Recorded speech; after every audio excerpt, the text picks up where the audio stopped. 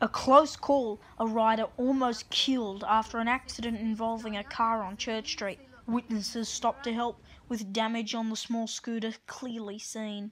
The incident happened just before 5pm last Thursday, and an ambulance was on scene to assist the rider, who sustained non life threatening injuries.